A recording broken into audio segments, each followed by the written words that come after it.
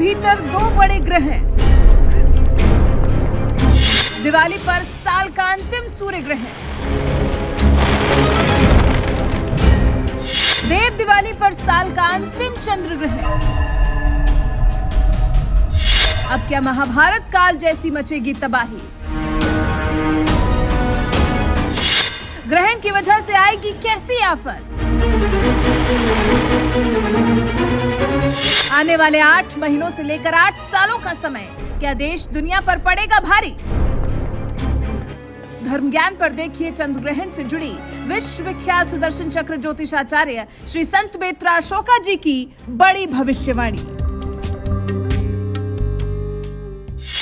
नमस्कार।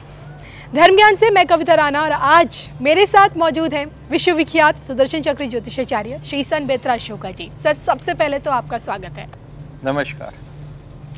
इस वक्त हम मौजूद हैं ऋषिकेश के शिवपुरी में और यहाँ से आज हम आपको ये बताने वाले हैं कि 5000 पहले जो ग्रहण की जो स्थितियाँ बनी थी महाभारत में और अब एक बार फिर से बन रही है। जी हाँ आपको बता दें कि इस 8 नवंबर को यानी कि देव दिवाली के मौके पर साल का अंतिम चंद्र ग्रहण पड़ रहा है और दिवाली के मौके के आसपास ही साल का अंतिम सूर्य ग्रहण पड़ा था और आपको ये जानकर ताजुब होगा कि पंद्रह दिनों के अंदर अंदर दो ग्रहण इस बार जो ये पड़ रहे हैं, जो एक ग्रहण हो चुका है, दूसरा ग्रहण जो पड़ेगा, इसी तरह की कुछ परिस्थितियाँ, इसी तरह के जो योग जो बने थे, पाँच हज़ार पूर्व या फिर यूँ कहें कि सदियों साल पहले महाभारत काल में, यानी कि द्वापर काल में भी इस तरह का संयोग बना था और जिसके चलते परिणाम स्वरूप कुरुक्षेत्र में महाभारत लड़ी गई थी।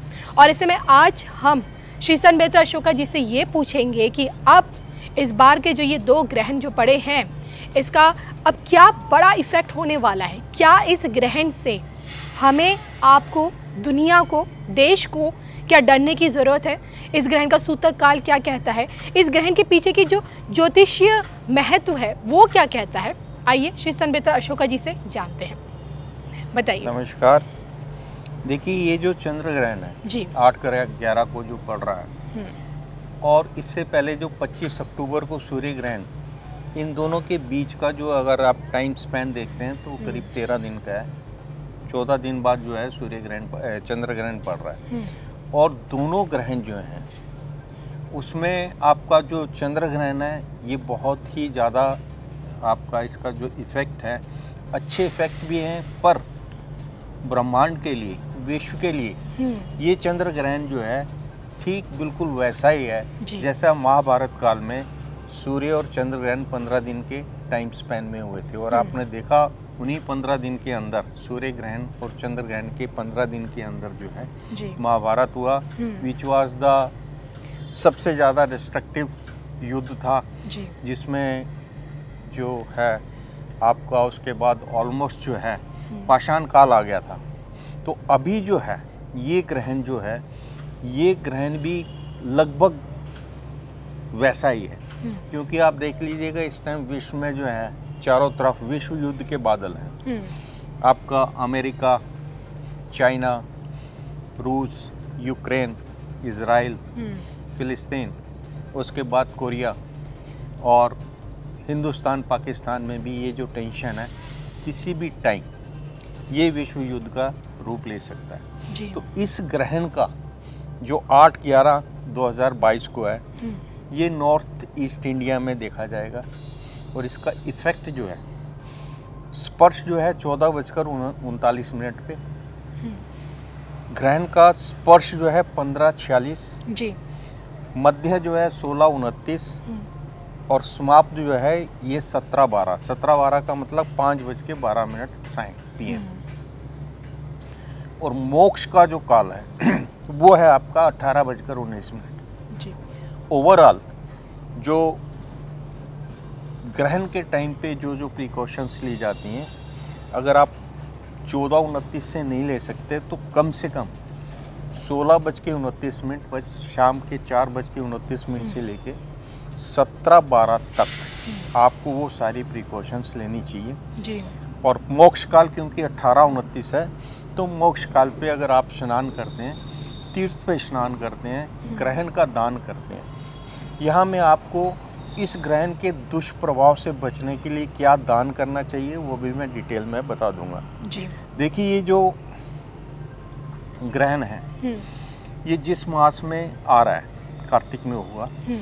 तो इसका जो इफ़ेक्ट है वो समुद्री तूफ़ान से जान माल को बहुत बड़ा नुकसान होगा। हम्म, पूरे वर्ल्ड में समुद्र के किनारे जहाँ जहाँ पर आपके जो कंट्रीज़ हैं सिटीज़ हैं तो उनको जो है समुद्र से समुद्री तूफानों से नुकसान हो सकता है। वार फल जो है मंगलवार को होने के कारण क्योंकि मंगल जो है सेनापति है ये अकाल और अग्निकांड का कारक है और युद्ध का कारक है। तो किसी भी टाइम कहीं पे भी युद्ध से या अग्नि के कारण या आपका जो है अकाल जैसी स्थिति बनेगी।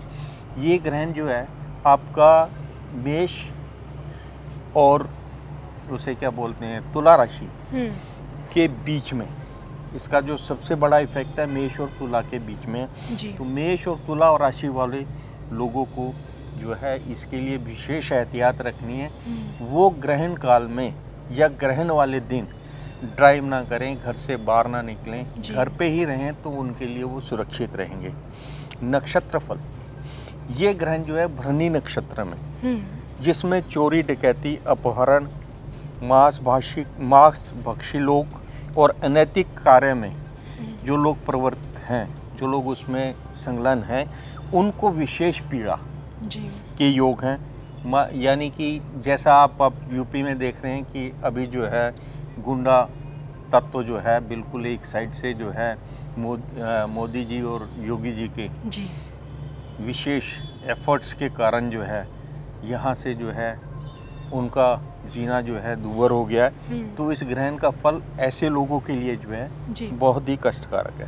हम्म, बाकी जो है कुंभ मकर और मिथुन राशि वालों के लिए ये ग्रह टोटलिटी में थोड़ा शुभ फलक रहेगा शुभ फल कारक रहेगा।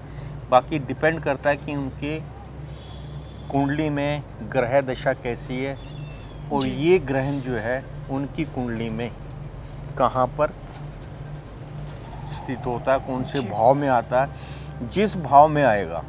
जैसे सपोज़ आपकी मेष राशि है तो आपका और आपसे सप्तम भाव के बीच में हम्म, ये ग्रहण का इफ़ेक्ट होगा। मैं एक उदाहरण दे रहा हूँ जिसमें आपको और आपकी पत्नी को इस ग्रहण का वर्स्ट इफ़ेक्ट भुगतना पड़ेगा। तो मेष और आपके तुला राशि वाले जो लोग हैं दंपति हैं उनको गृहस्थ कलेश से जी। बच के रहना। ये ग्रहण जो है क्योंकि 25 दस को आपका सूर्य ग्रहण था जी। और आपका आठ ग्यारह को आपका चंद्र ग्रहण है। ये ग्रहण अगर हम इसको महाभारत काल के साथ में जोड़ते हैं हम्म, तो इसका जो वर्स्ट का इफ़ेक्ट है वो मिनिमम एट मंथ तक सब राशियों के लिए रहेगा। जी। और एट मंथ से एट ईयर तक इफ़ेक्टिव रह सकता है। है। इट डिपेंड्स कि इस दौरान इस ग्रहण का जो इफ़ेक्ट नेक्स्ट एट मंथ में है हम्म, वो वर्ल्ड वाइड कितना बड़ा नुकसान करेगा। देखिए महाभारत काल से में जो ये ग्रहण था उसने महाभारत करवाई। हम्म, एक कुनबा पूरा का पूरा खत्म हो गया। जी। और उसमें कितनी कैजुअलिटीज हुई। हम्म, खूनों की नदियाँ बही। कुछ ऐसा ही। इसकी भविष्यवाणी मैंने बहुत पहले कर दी थी। जब आपका यूक्रेन और रूस। रशिया का जो युद्ध शुरू हुआ था जी। तो उसके लिए ये भविष्यवाणी हो रही थी कि ये मैक्सिमम पंद्रह दिन के अंदर अंदर हम्म। समाप्त हो जाएगा। लेकिन मैंने उसमें ये भविष्यवाणी की थी अगर आप सोशल मीडिया पे देखेंगे तो मैंने ये उसमें बताया था कि इसका वर्स्ट इफ़ेक्ट आपको नवंबर से हम्म, 16 जनवरी के बीच में देखने को मिलेगा। और वो यूक्रेन और रशिया का जो आपसी युद्ध है वो आपका देखिएगा खिंचता हुआ कहाँ तक पहुँच गया? जी। आज यूक्रेन और रशिया के बीच में जो युद्ध चल रहा है वर्स्ट पोजीशन में है। एंड नेक्स्ट किसी भी टाइम और जब हमने पुतिन की कुंडली को डिस्कस किया था हम्म, और रशिया की कुंडली को डिस्कस किया था तो ग्रह दशा के हिसाब से शनि की साढ़े सदी के हिसाब से मैंने ये बोला था हम्म, कि इसमें पुतिन किसी भी समय एटम बम का बटन दबा सकते हैं हम्म, और आपका परमाणु युद्ध के जो चांसेस हैं वो 100 परसेंट थ्रू आपके पुतिन के होंगे।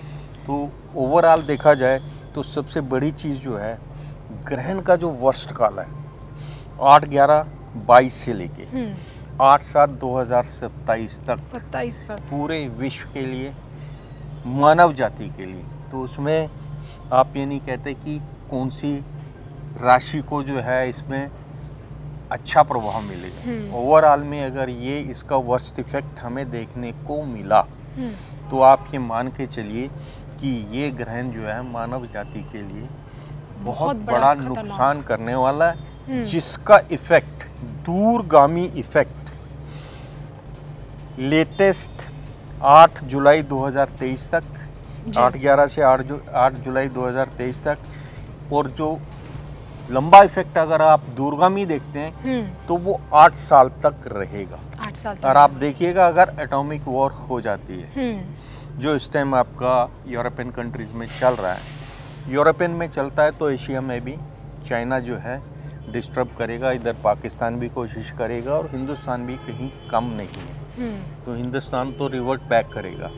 अगर ऐसा कुछ होता है तो उसका इफ़ेक्ट नेक्स्ट एट ईयर तक यानी कि आठ सात दो हज़ार इकतीस तक हम्म। देखने को मिलेगा।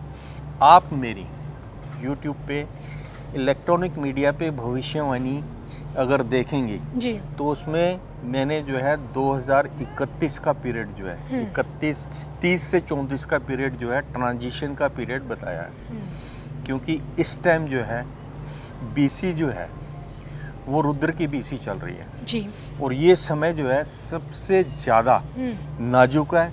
इसमें धर्म कर्म पर चलने वाले लोग लोगों का कल्याण होगा। हम्म, और जो देश धर्म कर्म को नहीं मानते सिर्फ़ मेटेरियलिस्टिक वर्ल्ड वाले जो लोग हैं उनको इसका खामियाजा सबसे ज़्यादा भुगतने को तो ये श्री संबेत अशोका जी ने ये बताने की कोशिश की है कि किस तरह से इस बार का ये अंतिम चंद्र ग्रहण ना सिर्फ़ देश के लिए, हमारे देश के लिए, यानी कि भारत के लिए, बल्कि पूरी दुनिया के लिए बहुत ही ज़्यादा प्रभावशाली होने वाला है।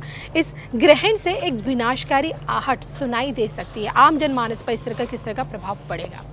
तो उम्मीद करते हैं कि आपको श्री सनबेत्रा अशोका जी द्वारा दी गई जानकारी उपयोगी साबित हो सकती है और इस पर आप लोगों के क्या राय है, कमेंट करके ज़रूर बताएगा। इसी के साथ मुझे और श्री संबिता अशोका जी को दीजिए इजाज़त। नमस्कार।